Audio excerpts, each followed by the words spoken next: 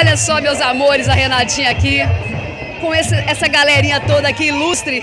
Poder, como não poderia ter, ter frutos tão, brilho, tão brilhantes? São eles aqui, o casal 20 de Goiás. Daqui a pouquinho a Renatinha vai falar com eles, que produziram também um atleta 20, que está aqui, que é muito mais que 10. Mas vamos lá para as partes oficiais. A gente está aqui no quarto Golden Kids, na segunda Boxing Champions, hoje aqui, sábado 4 de setembro. Renatinha está com ele, o Capixaba, que lutou 72 quilos, né Capixaba? Da equipe Tim Vilmar Costas e vamos, vamos, comentar, vamos combinar que upper, que punch.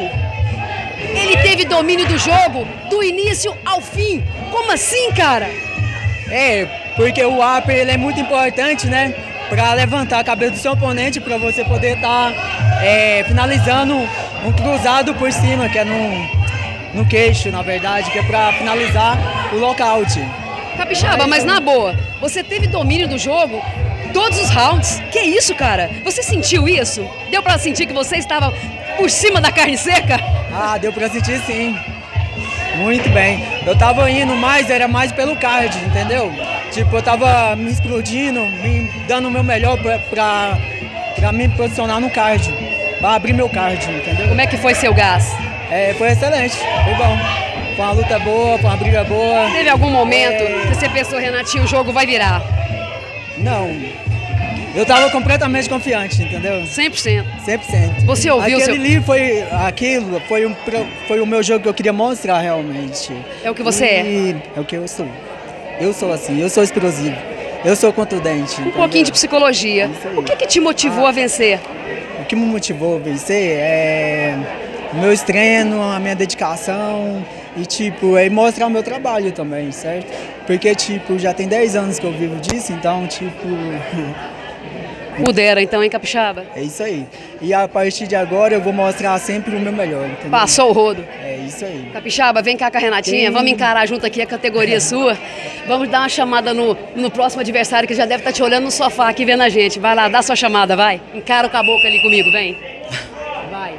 É, o próximo aniversário é que eu vou dar um conselho, mantenha a guarda alta, porque o segredo da luta é a guarda alta. Então, eu sou contundente, tipo, vou pra cima o tempo todo, beleza? Recado dado. Prepara porque é isso aí. Qual que é a categoria?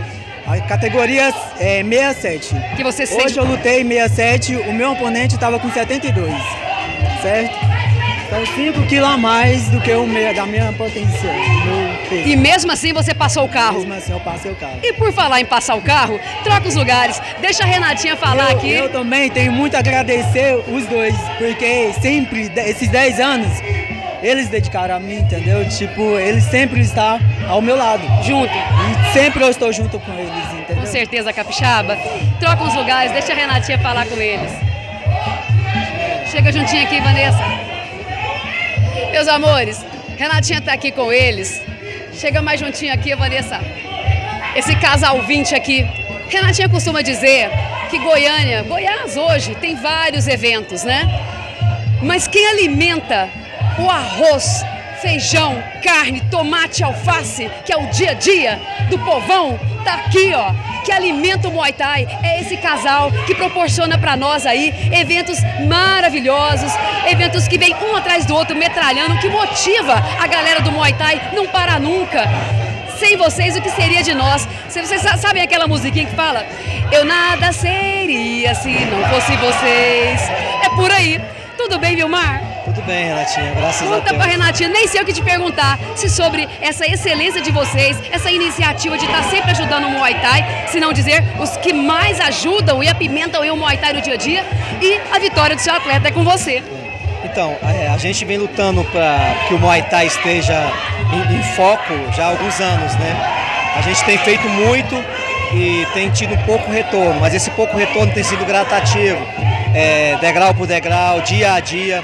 De acordo com o que a gente vai fazendo e vai vendo o resultado, nos incentiva a continuar fazendo. E o que mais nos emotiva é ver essa galera vindo aqui fazendo o seu trabalho com a qualidade que faz, vendo os treinadores dedicados a treinar os seus atletas para colocar aqui e mostrar o seu trabalho. Isso nos emotiva a continuar e a fazer o que estamos fazendo com a qualidade que estamos fazendo e com o amor que a gente coloca nisso, né? Isso é verdade, a gente vê nos olhos de vocês dois. Com certeza. Com relação ao Capixaba, por exemplo, ele fez uma excelente luta hoje. É, passou um tempo parado sem treinar mas é um garoto dedicado, esforçado, treina comigo desde os 15 anos de idade, é, focado mais no Muay Thai, aí de repente começou a tomar gosto pelo boxe também. Tem poucas lutas de boxe, mas vem se esforçando cada dia mais, melhorando cada dia mais. O que ele conseguiu mostrar aqui é pouco perto do que ele ainda tem para aprender e ainda pode render em cima de um ringue. Ele pode render muito mais que Não isso. Não acredito, viu, Mar? Pode, pode render muito mais que isso. Como eu disse para você, ele tem uma luta marcada para Anápolis mês que vem. E como ele voltou agora a treinar, a gente pegou essa luta de última hora. O Capixaba não está com 7-2, o Capixaba está com 68 e 800 ou é 900. E pegamos uma luta com um rapaz de 7-2 e 700. Nós pegamos a luta e eu falei para ele, falou, não, a gente vai encarar essa luta como um sparring para a luta do mês que vem. Então não vamos fugir da realidade. Joga fechadinho, leva, joga um boxe sério, faz o seu trabalho independente do resultado. E foi o que ele fez. Ele chegou aqui, deu o melhor dele, muitas coisas para ser corrigida, a gente percebe como treinador, que vai ser corrigido no dia a dia, no treino, mas ele está de parabéns porque fez um excelente trabalho. Vilmar, uma pergunta meio estrelinha, mas poxa, cada macaco no seu galho e a vida é assim. Cara, ele é o, o cara. Por ele ser o cara, ele ouviu você? Sim, em algumas ocasiões. Em outras, porque provavelmente pode ser que não tenha ouvido a minha voz, né? Porque a gente fala muito, às vezes no calor da batalha, o atleta empunhando seus golpes, pode ser que não escute a voz do treinador mas quando escuta tenta colocar em prática, né? E agradecer muito a Vanessa. A Vanessa, mesmo quando não está no treino, ela é uma influência muito grande para os meninos e serve de exemplo também. Por não, quê, Vilmar? Como mulher guerreira, como atleta, como pessoa. Ela tem um excelente exemplo, é uma excelente postura, entendeu? E ela, é, ela é exemplar como atleta, como pessoa no dia a dia. Então, dentro da academia, os meninos se espelham muito nisso, quando vê ela treinando também.